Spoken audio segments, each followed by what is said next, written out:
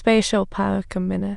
A spatial power combiner generally refers to a microwave system in which the output power of several solid state circuits are combined in free space as opposed to in a lossy substrate.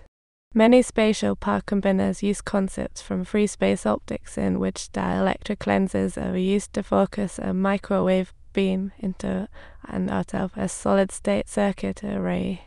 For this reason, this field of research is also known as quasi-optics. Category Microwave Technology